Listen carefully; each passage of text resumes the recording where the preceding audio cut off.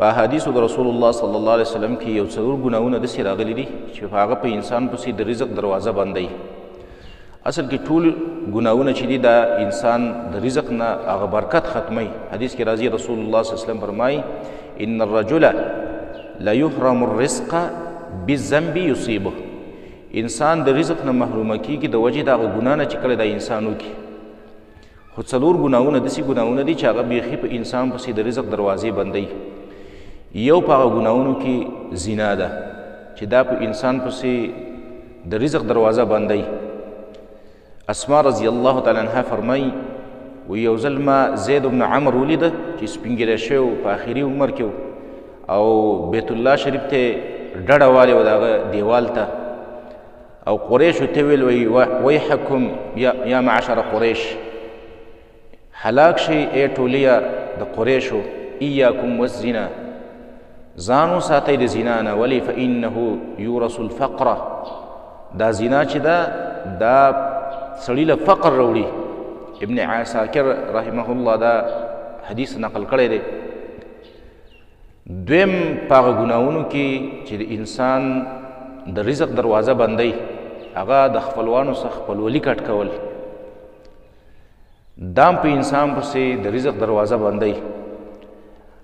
انس رضی الله تعالی عنہ فرمایي سمعت رسول الله صلی الله علیه وسلم ما د رسول الله صلی الله علیه وسلم نوریدلی دی من سره ان يبسط له في رزقه چاله چې خوشاله کوي دا خبره چې د پر رزق کې الله فراخي راولي او ينسأ له في اثره او یا الله پاک د په عمر کې برکت راولي نو فليصل رحمه دا سړی دی خپل ولی نه پرې کوي بلکې خپل ولی دی قائم او دائم ساتي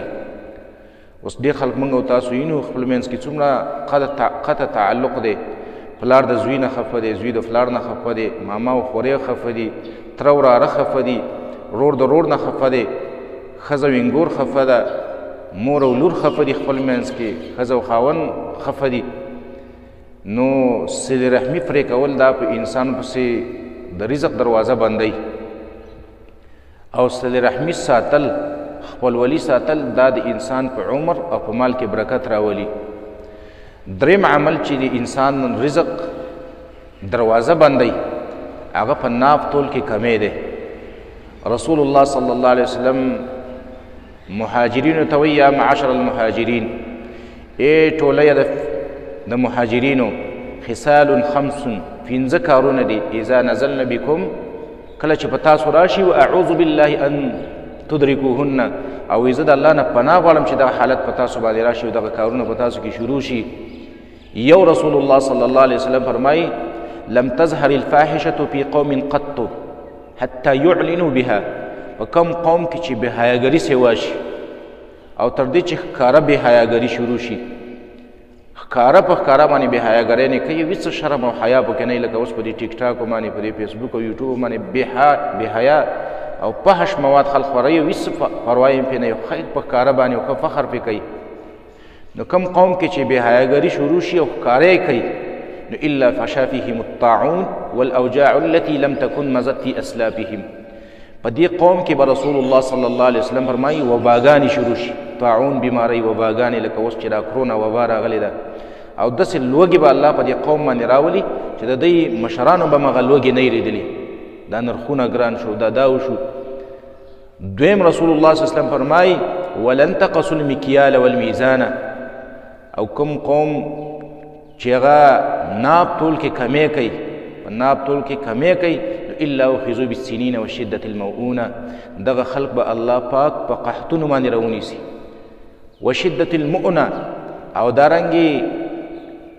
سخت سخت کړاوونه سخت سخت روزګارونه به د دوی په غاړو باندې شي خو بیا به دای باندې قحط سالی ډېر خلکو یې زه خو ډېر سخت سخت کارونه کوم سخت دیاړیانې کوم خو په حساب کتاب نه پوهېږم رزق کې مې برکت نشته دی دا د ناپ تول د کمی د وجې نه ناپ تول کمی یوازې دا نه دی چې ته په کنډه کې کمی کې ناپ تول کمی دام دی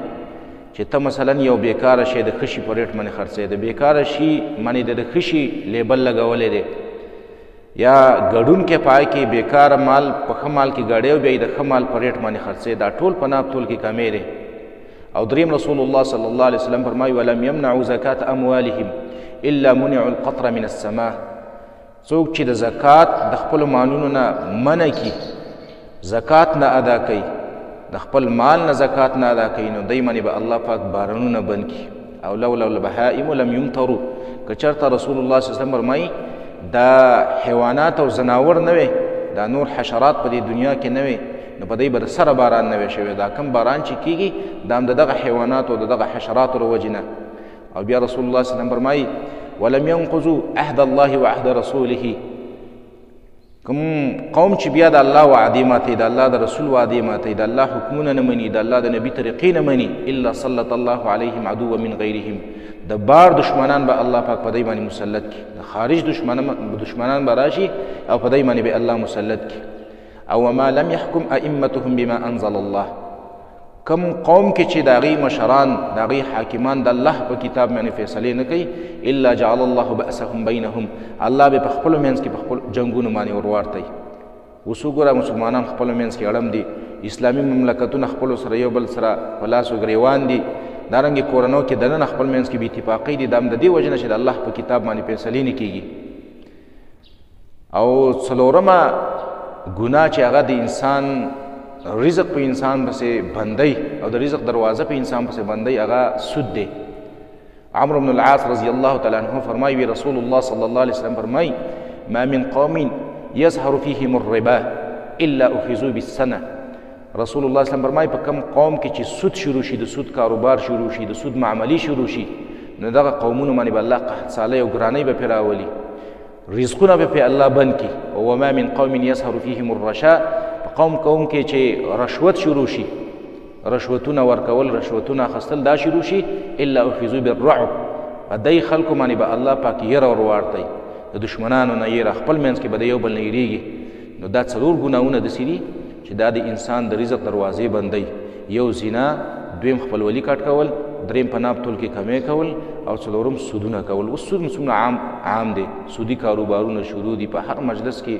د سود هغه روزګار او په هر تجارت کې او په هر دکانداري کې یو څه نه څه په څه طریقه باندې د سود هغه بوی او د سود هغه لوګي ورننه